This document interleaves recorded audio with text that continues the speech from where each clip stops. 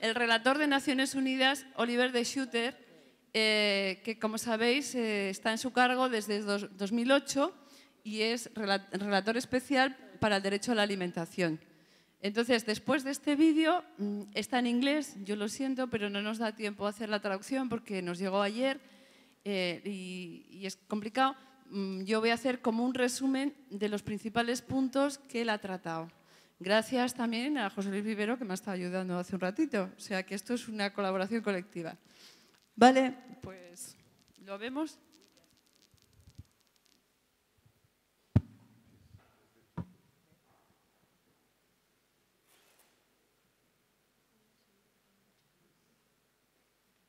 Good afternoon, good afternoon to all. Uh, my name is Olivier Deschutter. I am the United Nations Special Rapporteur on the Right to Food, appointed to this position by in 2008. Um, and it is my great pleasure to salute this 25th anniversary of the Spanish um, International Cooperation Development um, Agency, AECID, um, and to congratulate the agency for the very, very important work it has been doing on the right to food over the years. I'm now um, entering the final phase of my, of my mandate uh, as Special Rapporteur on the right to food, and I think it would be useful perhaps for me to, to sum up what we have learned and where the consensus today is about why the right to food is useful and what are the next priorities in improving um, food security, in combating hunger and malnutrition. Let me perhaps uh, first of all note that um, we have been witnessing over the past five, six years a major revolution in how um, we should eradicate hunger and malnutrition.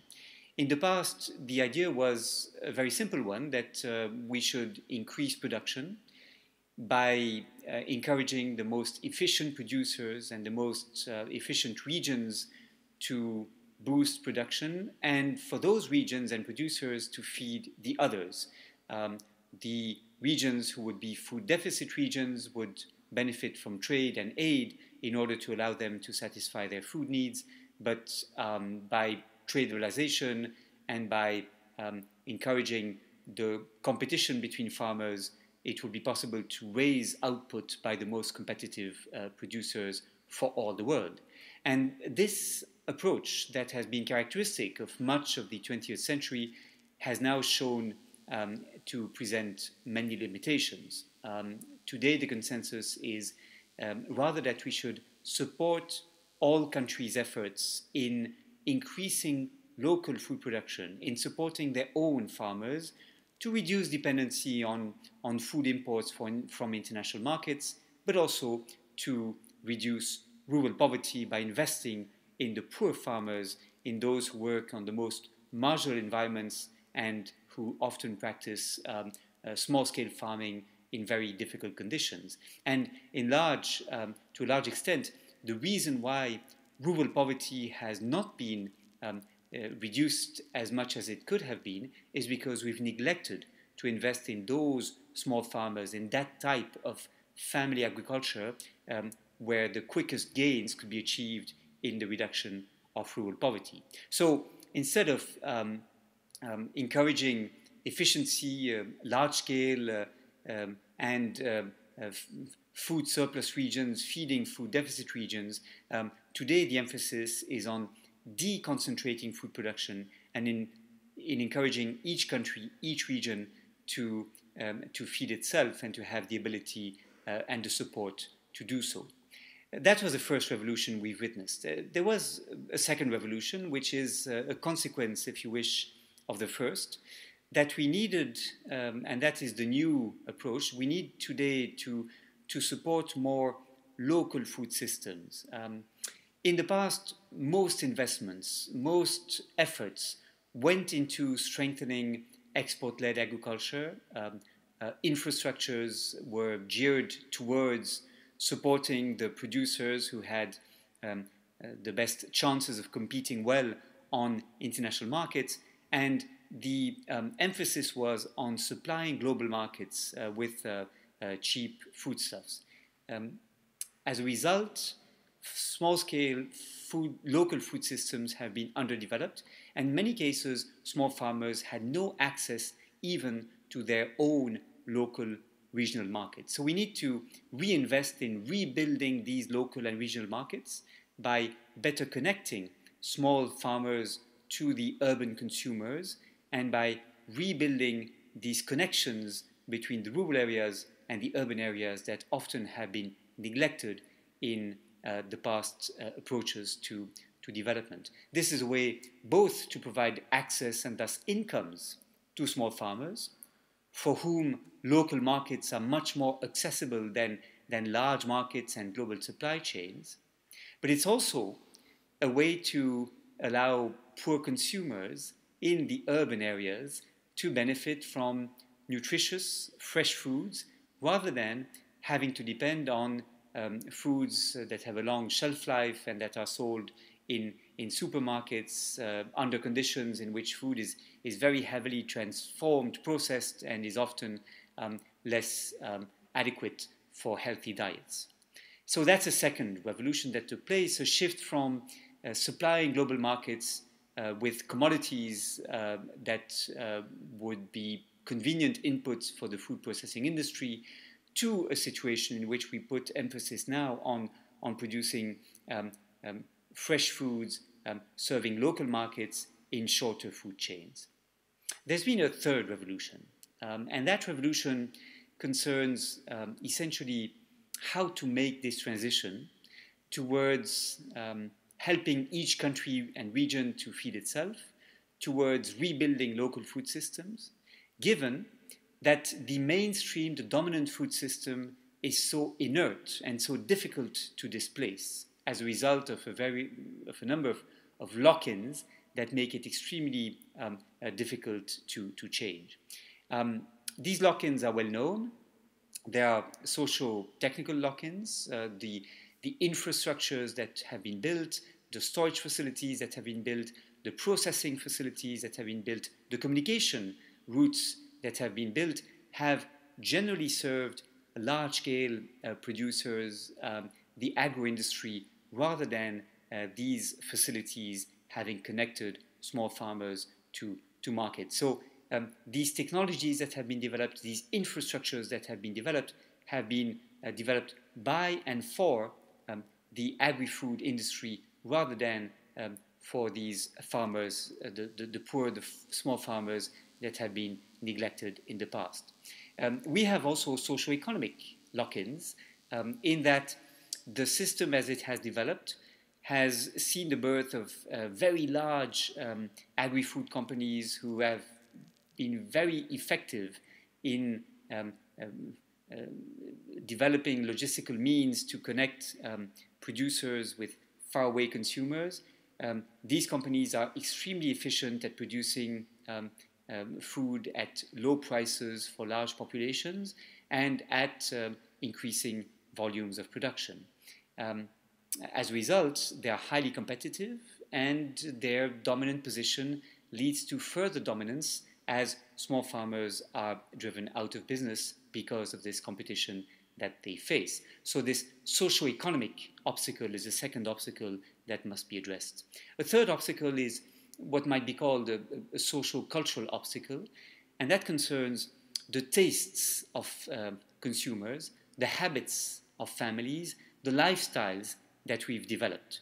We um, like food that is processed, that is easy to prepare, that tastes good, and we've become addicted to food that is um, heavily processed, but also as a result uh, quite heavy in, in saturated fats, in, in sugars and, and salt, and that is not necessarily the best for adequate healthy diets. Uh, but that too has been one major obstacle to change in recent years the habits of consumers and the difficulty to shift to more sustainable diets uh, because of the, um, the tastes that consumers have developed in the past.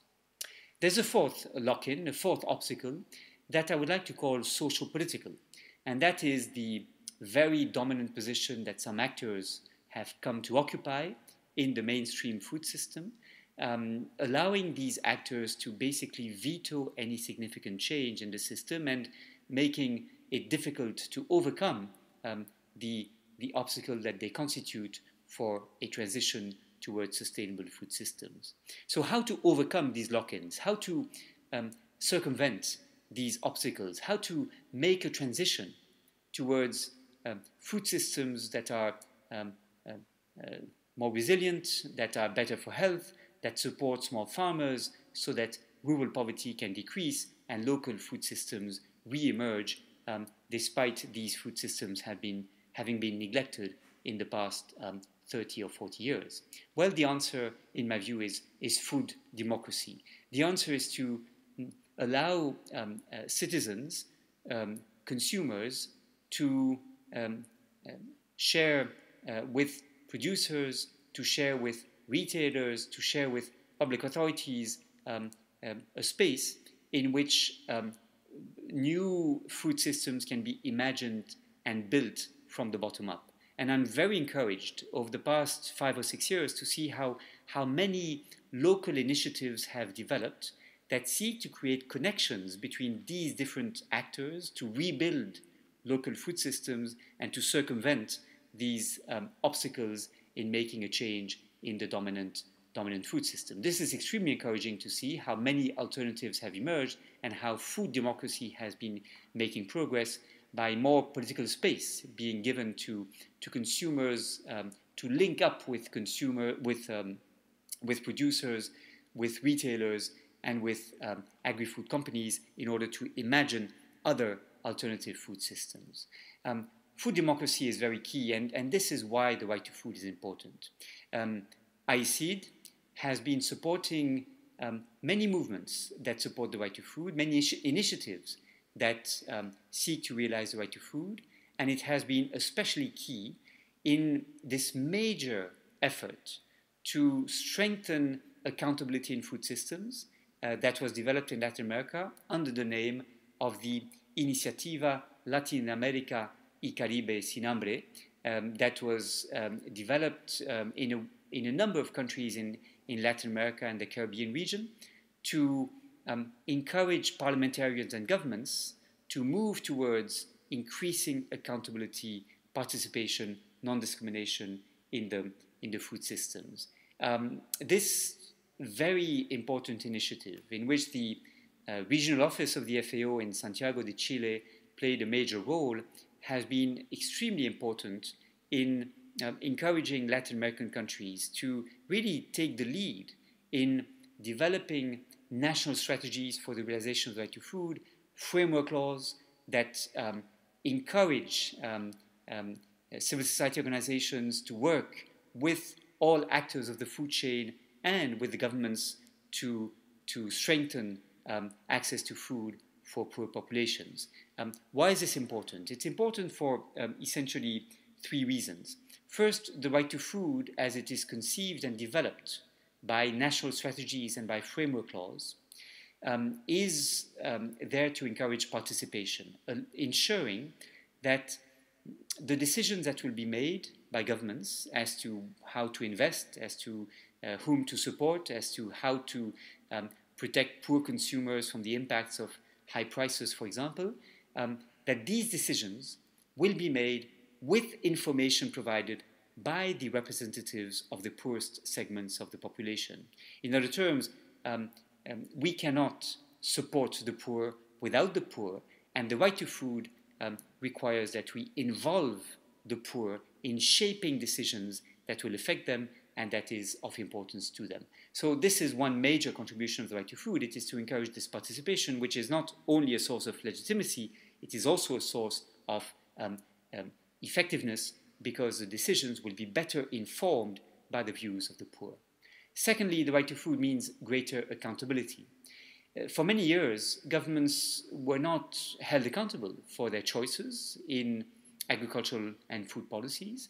As a result, they were very often dominated by um, major lobbies and, and, and large, powerful um, companies dominating the sector without um, them having to justify the choices they make in the light of um, um, the uh, needs of the poorest segments of the population. So if the right to food means greater accountability, it would mean decisions that are better um, suited to meet the needs of the poor, and it will mean governments that will um, more transparently make decisions um, and better use the resources at their disposal to improve the situation of the poor.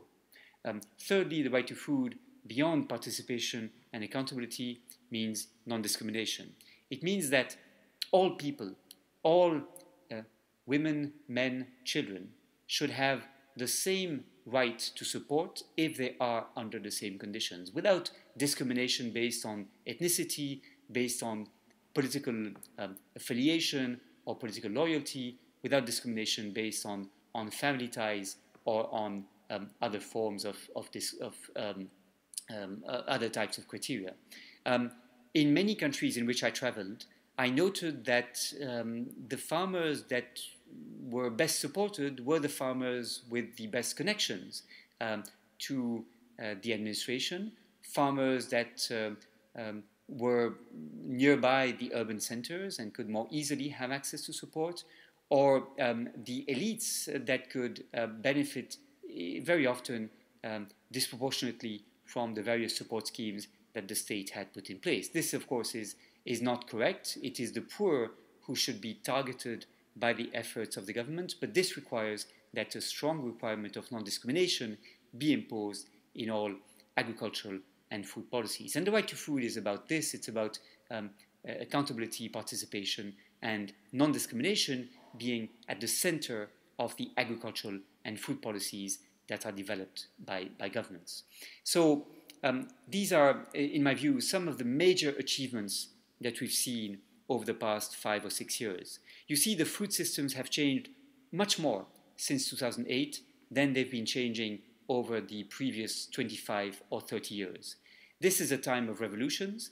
It is a time of significant rethinking about how we should invest in agriculture and food systems, how we should support access to food for the poor, and how we should make the connections between um, agricultural production on the one hand and other issues such as public health, such as rural development, such as the preservation of the ecosystems and environmental concerns that in the past were considered um, apart from how agricultural development should proceed. And today we need a much more holistic approach based on the right to food, based on recognizing the needs of the poorest, and, and this is, to a large extent, what the programs of AECID have contributed to, particularly, I must say, in Latin America, where its presence has been extraordinarily effective in um, making this revolution happen in, in Latin America. Latin America, as I noted in a report I presented to the General Assembly um, of the United Nations um, at its 68th session in, in October 2013, um, Latin America has been really leading um, the world in showing how the right to food could make, could make a significant difference in um, improving access to food for the poor segments of the population. And uh, the Spanish um, um, International uh, Development Cooperation Agency, AECID, has been um, playing a very important role in, in getting this message across and in, in providing support for this, um, this revolution to take place. So for this, I'm extremely grateful. I, of course, regret that I'm not able to, to join you um, um, um in, in Bolivia um, um, for this uh, very important anniversary meeting that was convened by AECID. I'm extremely indebted to AECID for its support over the years. I, I, hope uh, that the debates will be fruitful. I have no doubt that they shall be useful in identifying the challenges ahead. Um, let me again thank you for allowing me to participate, uh, albeit virtually, in this discussion, and I look forward to our um, future collaboration. Thank you. Fundamentalmente, eh, y muy resumido, los mensajes de Olivier de Schutter eh, serían que el sistema alimentario ha, cambi ha cambiado más desde el 2008, eh, fecha de la crisis mundial de alimentos, eh, en estos mm, seis años últimos que en los últimos 25 o 30 anteriores. Ello es debido a que estamos en un tiempo de cambio y de transición alimentaria muy importante. Eh, había un anterior paradigma en cuanto al tema de la agricultura y la producción intensiva. Eh, se trataba de producir intensivamente en algunas áreas y exportar a otras, producir a un precio muy bajo para intentar que, los productos fueran competitivos en otras zonas. Eh, se intentaba buscar la eficiencia eh, produciendo, llevando a cabo una agricultura de gran escala con una mecanización y una intensificación, haciendo intensivo todo el tema.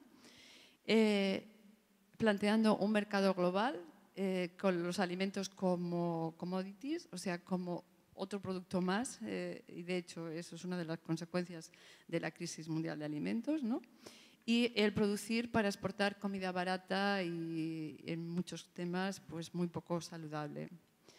Eh, y finalmente eh, todo ello conducía a marginar a los pequeños agricultores y a los propios agricultores de subsistencia, no, tienen, no teniendo acceso en muchos casos a la propia producción de sus, de sus alimentos para, para sobrevivir en, en, este sistema, digamos, agroalimentario.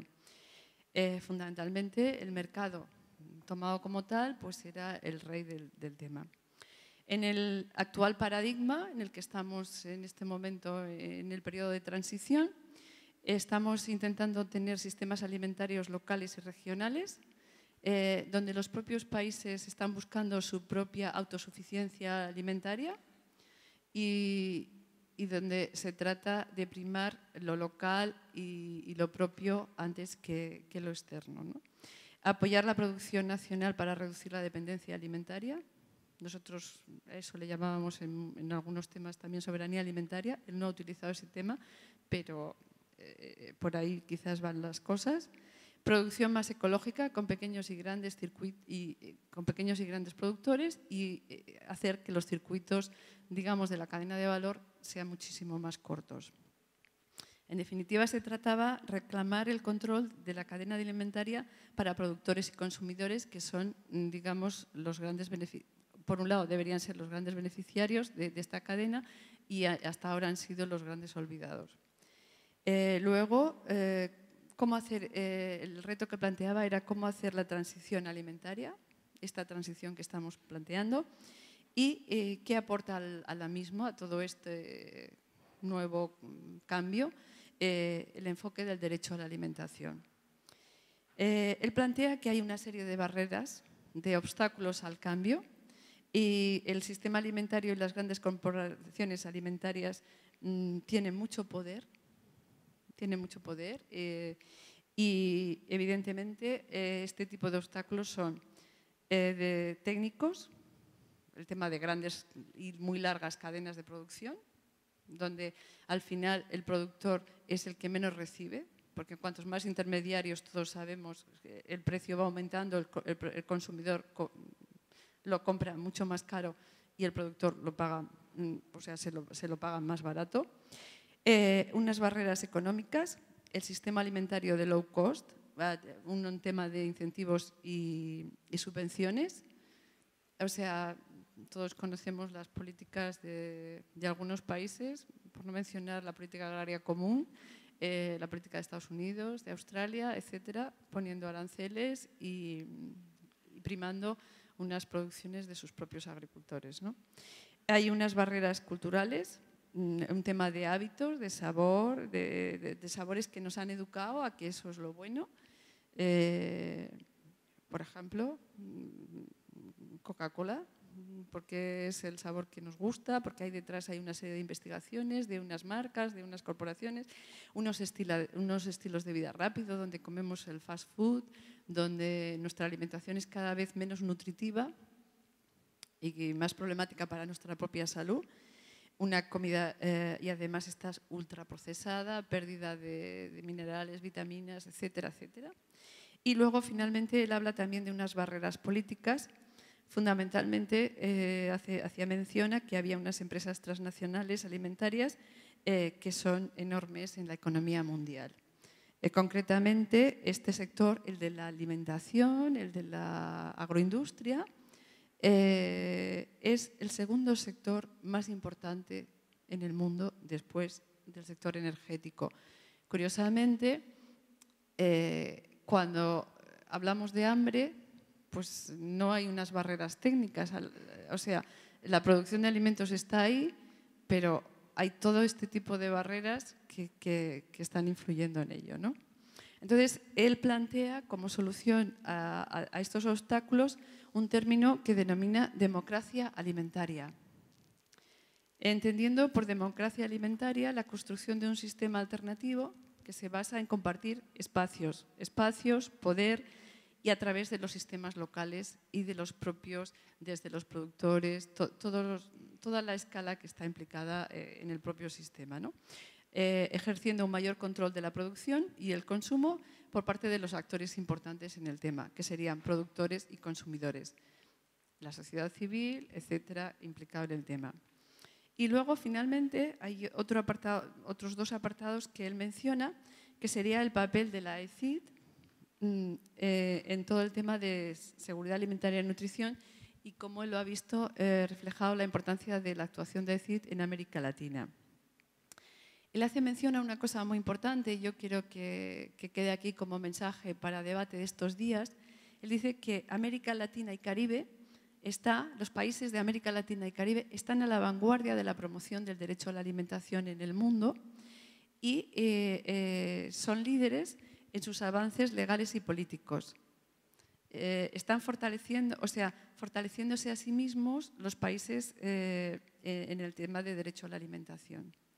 Y luego hace una serie de, menciones y luego él no lo dice, pero ya de paso lo digo yo, que podemos eh, sacarlo en el debate, el papel de la agencia que ha estado apoyando eh, la iniciativa América Latina y Caribe sin hambre, por ejemplo, como la apropiación de los países eh, latinoamericanos y de Caribe por ellos mismos de una serie de, políticas públicas que pueden incidir en, en, toda la reducción de hambre.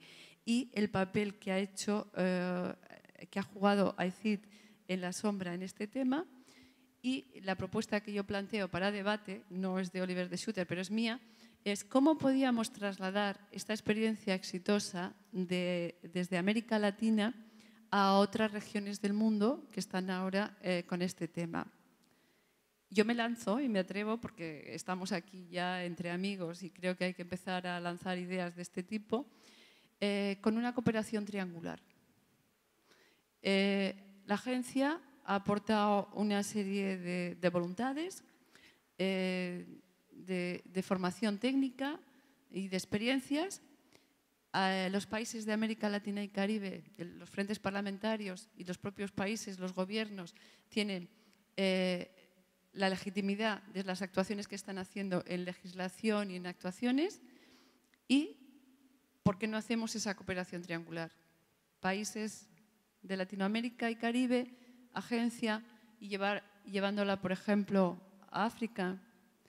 A lo largo de estos días hablaremos con el subdirector de, la agencia eh, de cooperación con África subsahariana y veremos cómo nosotros también estamos cooperando allí. Pues una de las cosas que se les puede intentar trabajar podría ser en este ámbito. Propongo, yo, así me lanzo. Y luego, él... Eh, paso otra vez a lo que él decía, AICIT ha jugado, según él, un papel destacado en ese impulso a través de, eh, primero, la priorización de este tema de la seguridad del derecho a la alimentación en sus programas y, por supuesto, colocando fondos, por eso él está agradecido también porque ah, lo hemos estado financiando, su, actuación, a través de organismos multilaterales, sobre todo en FAO, que, ha quedado un poco patente en la mesa anterior ya cómo está nuestro apoyo, pero también en PMA, en FIDA, en ACNUR, en la oficina del relator. O sea, hemos hecho muchas cosas eh, en este tema. A través de ONGs españolas eh, hay una campaña de derecho a la alimentación promovida por una serie de ONGs españolas para la sociedad civil española allí y para todos los demás países aquí donde España coopera y luego en el marco de la iniciativa América Latina y Caribe sin hambre, eh, promoviendo las estrategias nacionales SAN y las leyes que se han estado aprobando en los distintos países. Y finalmente, él eh, ha resumido eh, tres aspectos claves de cómo el derecho a la alimentación influye en todos estos avances que él promueve. Eh, uno, eh, promoviendo la participación inclusiva en el diseño, ejecución y monitoreo de programas de lucha contra el hambre.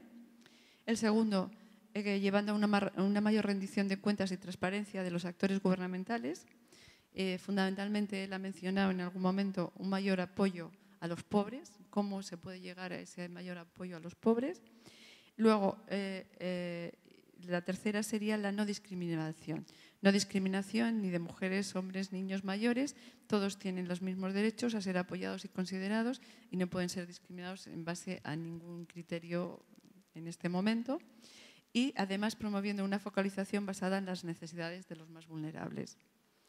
Eh, fundamentalmente ha mencionado también pues, cómo el derecho a la alimentación incide puede incidir en la agricultura, eh, en temas como salud, cambio climático, etcétera, y eh, cómo deberíamos eh, intervenir en todo este ámbito. ¿no? bueno, pues nada más. Recordar solo que los líderes latinoamericanos mm, son en este momento, mm, o pueden ser en el tema del derecho a la alimentación, líderes para el resto del mundo.